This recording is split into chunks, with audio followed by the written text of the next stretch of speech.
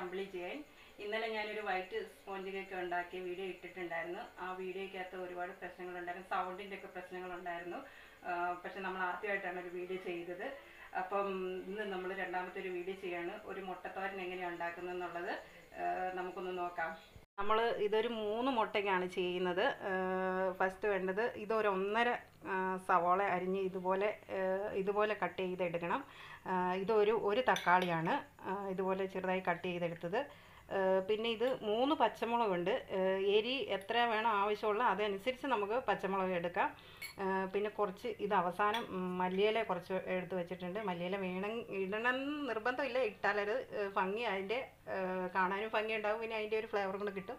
പിന്നെ വേണ്ടത് കുരുമുളക് പൊടിയാണ്. പിന്നെ വേണ്ടത് സ്വല്പം മഞ്ഞൾപ്പൊടി വേണം. പിന്നെ ഉപ്പ് എണ്ണ. ഇത്രയും കാര്യങ്ങളാണ് ചെയ്യാൻ വേണ്ടത്. അപ്പോൾ നമുക്ക് എങ്ങനെ ചെയ്യുന്നതെന്നുള്ളത് നമുക്കൊന്ന് നോക്കാം. ഇപ്പോൾ ഗ്യാസ് നമ്മൾ കത്തിക്കാൻ പോകുന്നു. ഏതെങ്കിലും ചീനിച്ചട്ടിയോ ഏതെങ്കിലും ഒരു പാത്രം ആയാൽ മതി. ഞാനിപ്പോൾ ഒരു കടായിയാണ് വയ്ക്കുന്നത് ഒന്ന് ചൂടാകട്ടെ. എണ്ണ ഒഴിക്കാൻ പോവാണ്. എണ്ണയ്ക്കൊന്നും ഒരു അളവൊന്നുമില്ല. നമുക്കതിന് ആവശ്യമായിട്ടുള്ള എണ്ണ എത്രയാണെന്ന് വെച്ചാൽ അത്ര ഒഴിക്കാം. ഞാൻ ഇത് ഏകദേശം ഒരു രണ്ട് ടീസ്പൂണോളം വരും. അതിന് ശേഷം നമുക്ക് ഇത് ഗ്യാസിന്റെ തീ കൂട്ടി തന്നെ വെച്ച് വേണം ഇത് ചെയ്തെടുക്കാനായിട്ട്. ഇനി സവോള അരിഞ്ഞ് കട്ട് ചെയ്ത് വെച്ചേക്കുന്ന ഒന്നര സവോള അങ്ങോട്ട് ഇട്ട് കൊടുക്കുകയാണ്.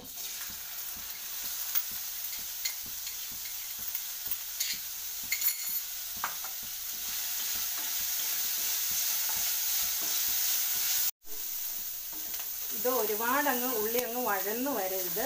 ചെറുതായിട്ടൊന്ന് ഒന്ന് മൂത്ത് മൂത്തല്ല ഒന്ന് വഴന്ന് വന്നോലെ എന്തെങ്കിലും നമുക്ക് കഴിക്കുമ്പോൾ അത് ഉള്ളി കടിക്കുന്ന അങ്ങനെ ഒരു ഫീലിംഗ് ഉണ്ടാകണം. അതിനുശേഷം നമ്മൾ അരിഞ്ഞ് വെച്ചിരിക്കുന്ന പച്ചമുളക് മൂന്നെണ്ണം കൂടെ അതും കൂടെ ഇട്ട് കൊടുക്കാം.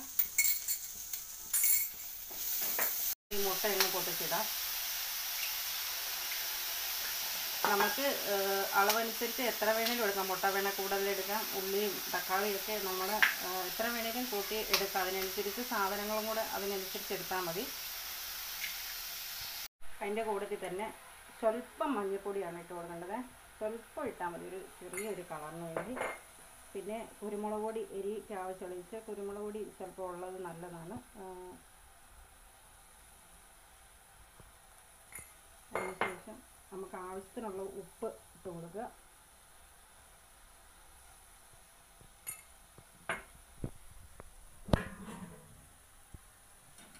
എന്നിട്ട് ഇത് ഇങ്ങനെ ഇളക്കി മിക്സ് ചെയ്യുക